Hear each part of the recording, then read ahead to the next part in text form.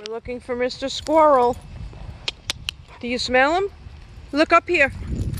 Say, Mr. Squirrel, where are you? Go see. Go see up. Mr. Squirrel. Go ahead. Go see.